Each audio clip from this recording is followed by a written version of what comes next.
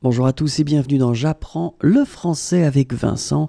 Et dans cette vidéo, nous allons découvrir ensemble un mot.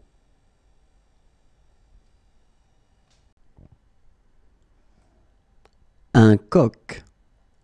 Un coq. Un coq. Au revoir et à bientôt.